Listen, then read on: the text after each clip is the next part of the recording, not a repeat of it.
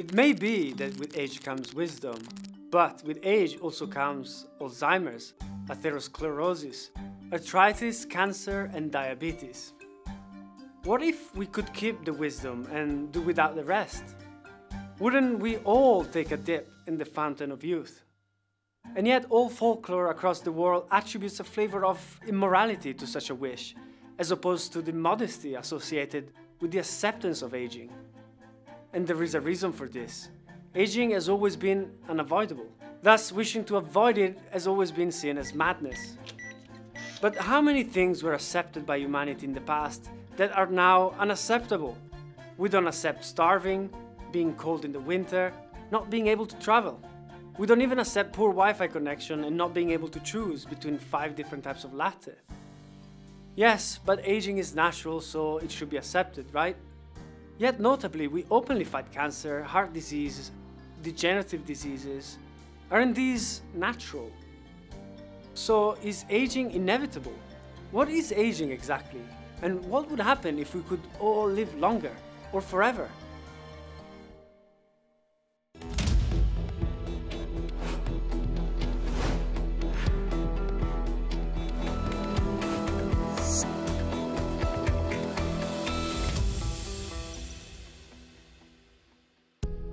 To understand aging, we need to understand that we are the product of evolution and not of intelligent design.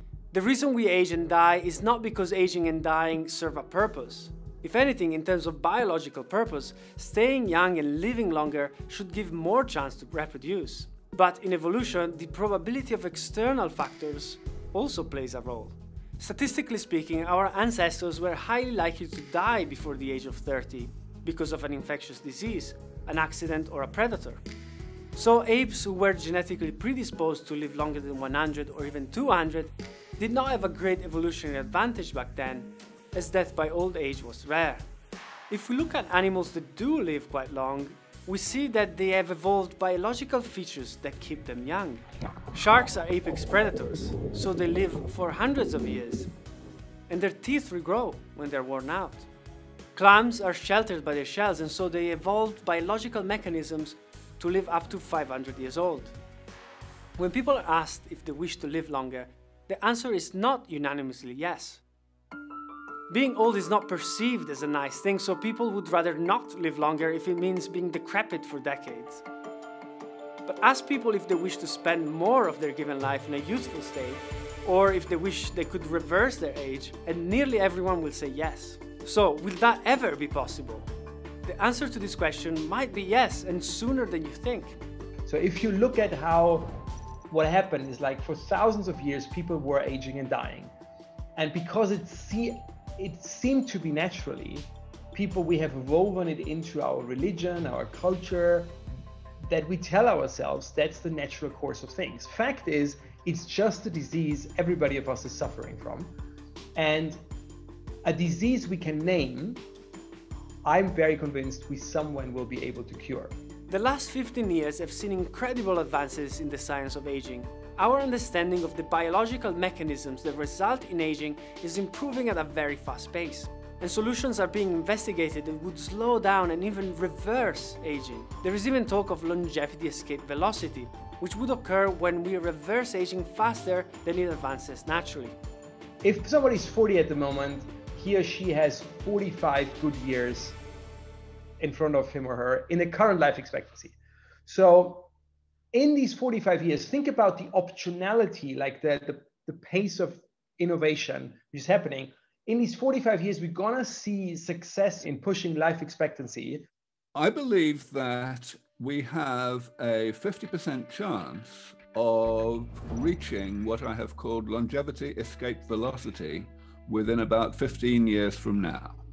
The longevity escape velocity is the rate at which we need to be improving the comprehensiveness of rejuvenation therapies in order to stay one step ahead of the aging problem so that we can continue to rejuvenate people as the years go by even though the actual objective difficulty of rejuvenating progressively older people is nevertheless increasing. So some people have called this point the Methuselarity, where we get to be able to stay one step ahead of the problem and improve the therapies. What is your reaction to this idea? Is it acceptance, excitement, or skepticism? If you're skeptical, you're not alone. It's perfectly reasonable for people, especially non biologists, to be skeptical about the prospects of bringing aging under comprehensive medical control anytime soon. We've known about aging since the beginning of civilization. We've known how ghastly it is. And people have been coming along regularly saying that they knew how to defeat aging, and they've always been wrong. So it's reasonable to be hesitant before you believe the next person who comes along and says that thing.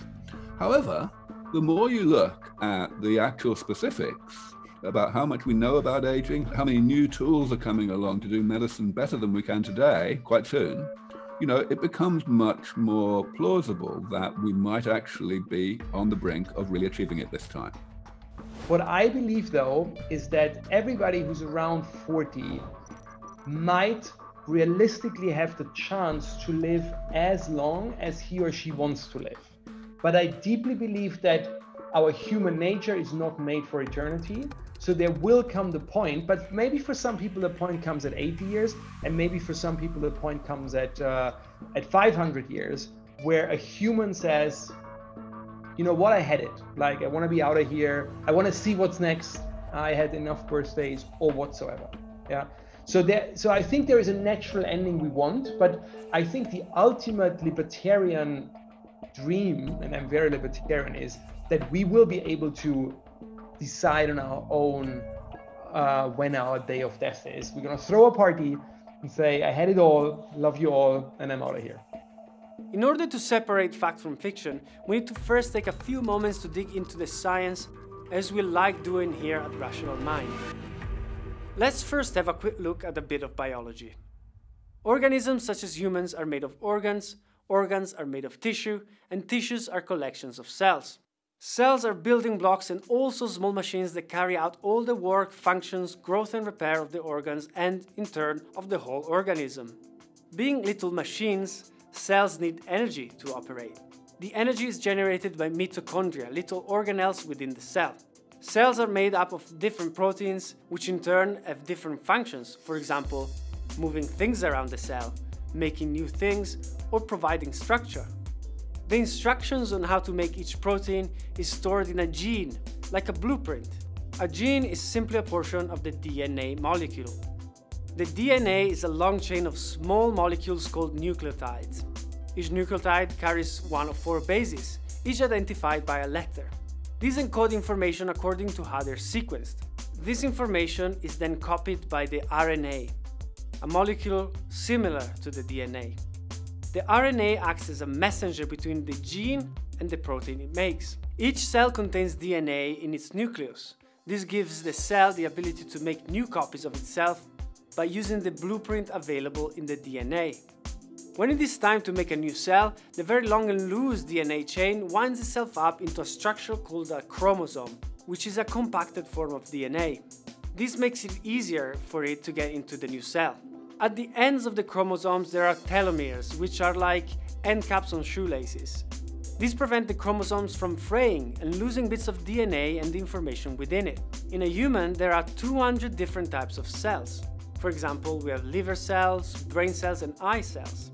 So how does a cell know what it is and how does it make more of its kind? After all, the DNA contained in every cell encodes the blueprint for the whole organism.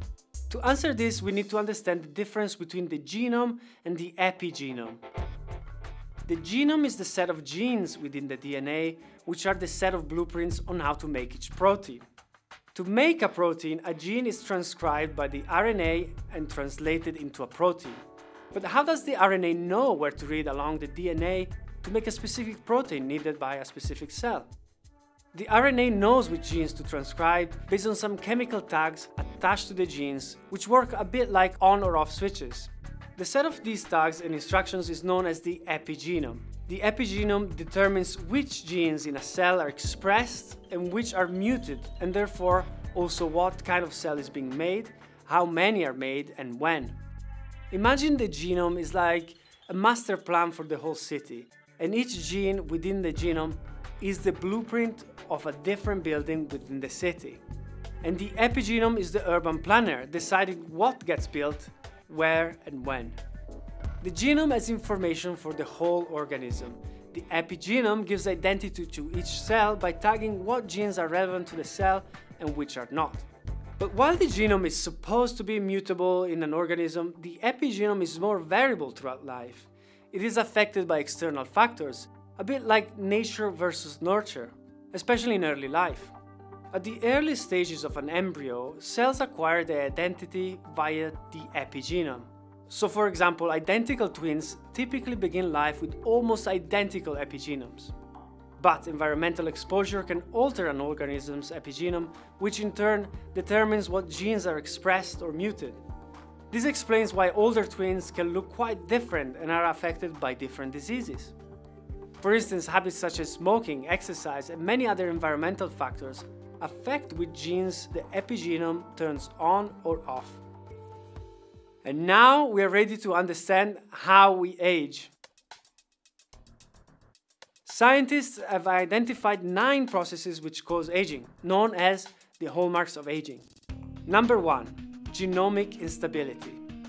Damage to our genome occurs daily because of external factors such as UV light or viruses, or internal factors such as replication errors when making new cells.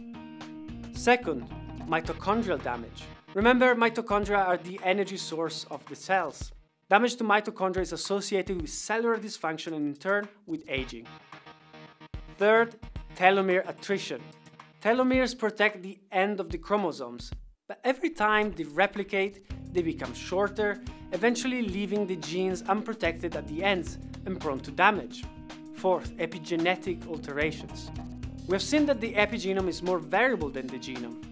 This can cause epigenetic alterations which are detrimental to health, for example, if some cancerous genes are accidentally switched on. With time, the epigenome accumulates errors which are associated with the rise of other hallmarks of aging and with aging in general. Fifth, cellular senescence. A senescent cell is a cell that reached the end of its cycle, which means it can no longer replicate itself. Senescence is a good thing because it stops damaged cells from replicating and becoming cancerous. However, with time and age, the elimination mechanisms become less effective and senescent cells accumulate. The accumulation of senescent cells might be linked to many age-related diseases such as arthritis and cancer. Number 6. Loss of proteostasis. Protein homeostasis or proteostasis is the good functioning of all proteins in our body and correct disposal of dysfunctional ones. With time, these mechanisms become less effective at eliminating damaged proteins, and the damaged proteins may create disease. An example of this is Alzheimer's disease, caused by the accumulation of two types of damaged proteins which go around and cause more damage. The seventh hallmark of aging is deregulated nutrient sensing. Cellular activities are all the natural functions that occur in the cell, such as transporting nutrients, replication, and transmission of nerve impulses. All of this activity needs fuel. If cells sense that the fuel is abundant, cellular activity and metabolism speed up. Over time, the pathways that signal nutrient levels deteriorate. For example, when the insulin pathways are affected, this causes diabetes. When nutrient sensing is not optimal, faster cellular activity occurs, leading to faster accumulation of cell damage and rapid aging. Number 8. Stem cell exhaustion. Stem cells are blank cells. They have no specific identity to begin with and can transform into nearly any kind of human cell. Having stem cells available in the system allows for growth and regeneration of tissue, like having the raw materials to build or fix something. With age, stem cells in your body run out, eventually causing problems to your organs and immune system. And finally, number 9. Altered intercellular communication.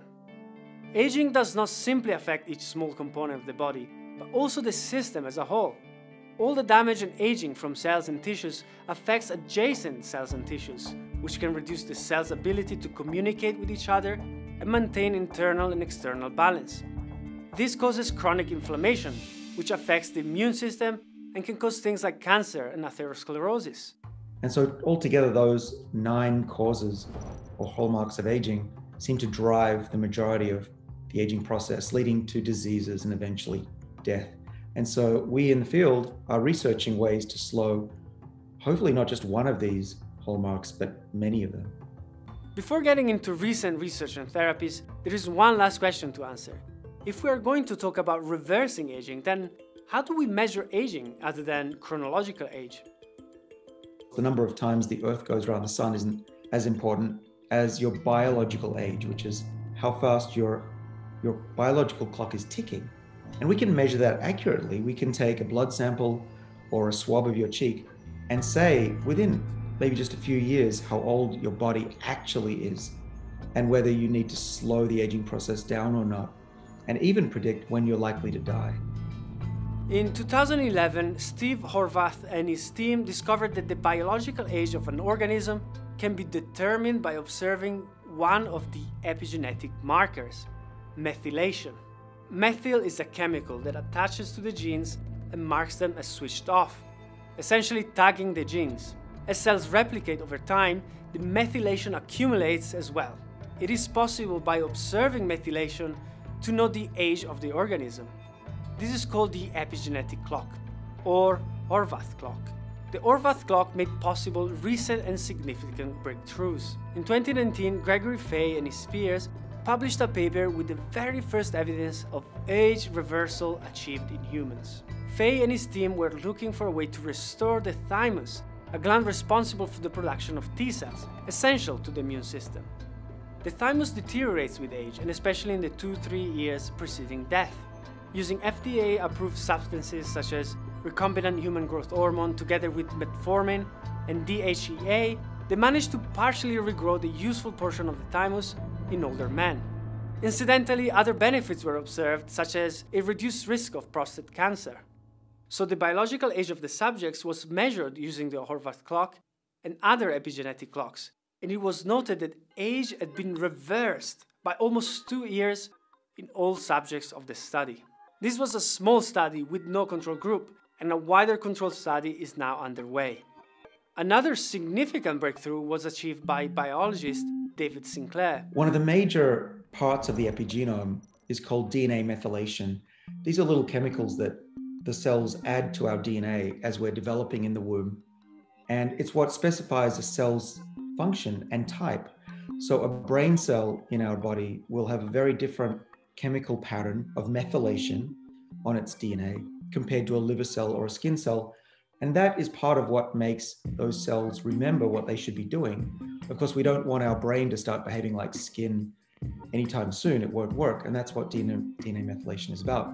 And there's thousands, hundreds of thousands actually, of these little chemical marks that get added and stuck on our DNA when we're very young. The problem is that as we get older, some of these marks get taken away, they get clipped off, and some of them get added on in places that they shouldn't be. And our cells eventually lose their ability to function the way they should. And you can think of the, the old brain starting to behave more like skin and the old skin starting to behave more like a liver. And that's what we think is driving the majority of the aging process. Noting that methylation and other alterations to the epigenome were a clear indication of biological age, Sinclair was investigating whether the epigenome could be restored to its original youthful state. A great idea came to the rescue. In 2006, Shinya Yamanaka demonstrated that four specific genes known as Yamanaka factors can be used to convert any type of somatic cells into pluripotent stem cells. Somatic cells are any non-reproductive cell in the human body, such as brain cells, liver cells, and so on. The ability to convert somatic cells into stem cells allows us to repair diseased, dysfunctional, or damaged tissues and organs.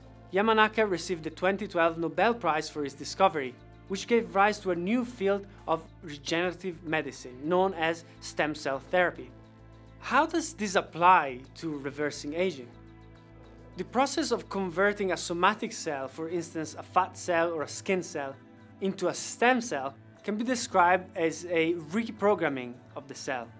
It reverses the epigenome of the cell to its initial blank state, like in an embryonic stem cell. Sinclair used three of the Yamanaka factors in an interrupted reprogramming. This interrupted reprogramming allowed Sinclair to reset a cell's epigenome to its youthful state.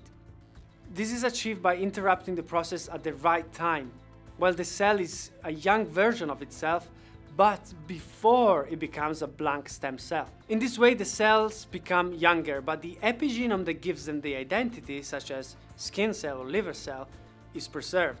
In December 2020, a paper was published demonstrating how this process restored vision in mice with a deteriorated or crushed optic nerve by reprogramming the cells in the nerve back to the youthful state. When an egg is fertilized, when we're very, very young, the cell has a way of resetting the clock, the biological clock. So those little chemicals, the DNA methylations, get stripped off, and the cell is basically an, at age zero. And there are genes that do that. There are what are called Yamanaka factors. These are essentially four or more genes that come on when we're very young. What we did in our work was to turn on three of those Yamanaka genes in the adult, in this case, the eye of an old mouse. And that was sufficient for the cell to reset the clock, not back to zero, but about halfway, and rejuvenate the tissue. And so that the, the mice got their vision back. The promise is that this process could be used to turn the Horvath clock backward, eventually being able to reverse aging in humans. Imagine having a pill that has a few chemicals in it from plants, and you take it for maybe a month, and you really start to look different. Your hair might grow back, your skin looks good, and your internal organs also reset going back a decade or two. That's what we're aiming for. We're still a while away from having this type of treatment on humans, but in the meantime, all the other hallmarks are being tackled in various innovative ways by private companies. Some might be able to offer treatments very soon, with many already at the early stages of regulatory approval. So at Rejuveron, we target three, which we believe uh, most important hallmark of aging, which is stem cell depletion, senescent cells, and telomere shortening. So on stem cell depletion, we are actually working on a novel drug discovery and development approach. So in this approach, we apply small molecules to regulate our own stem and progenitor cells to repair and regenerate organs and tissues. Or in other words, we instruct our body to heal itself.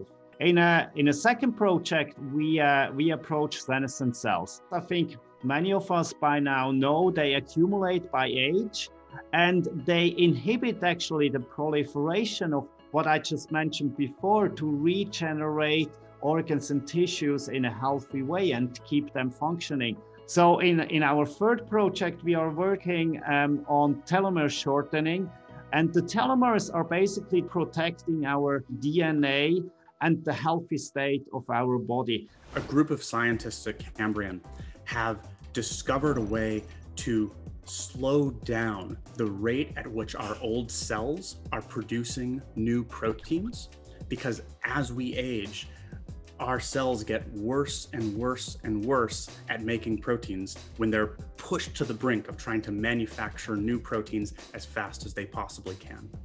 And so we've created a molecule that slows down the rate of protein translation and in so doing increases the number of healthy proteins in the cell.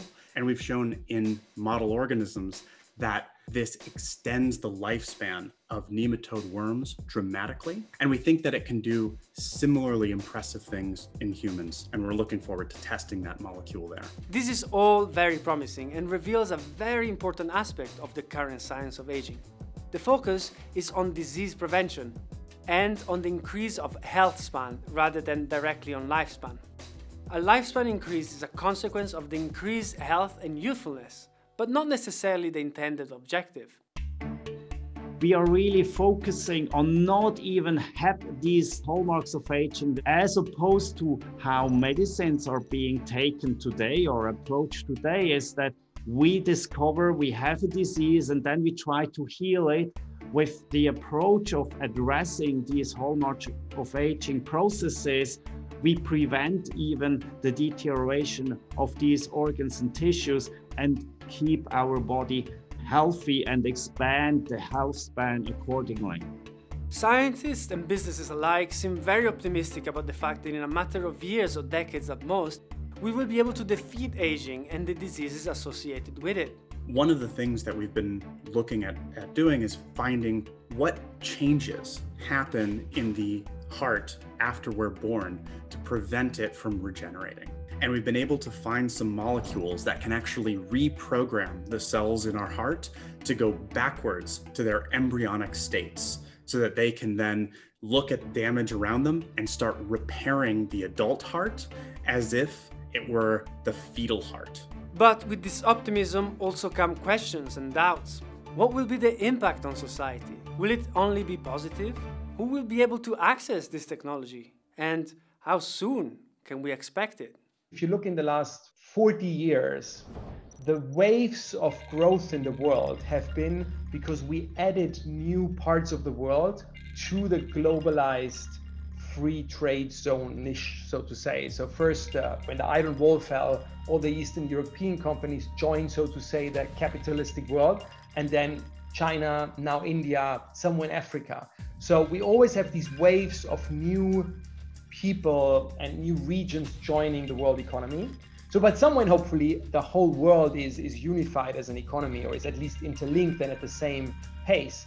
And then I believe actually the next wave of growth positively will be longevity because so many people will stay active and, and be part of, of a productive life.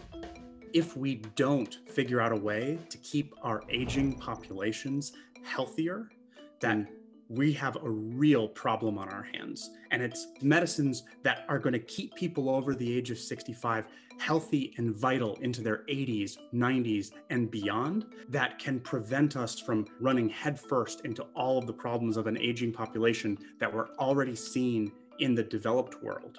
And we're going to see more and more in the developing world over the course of the 21st century.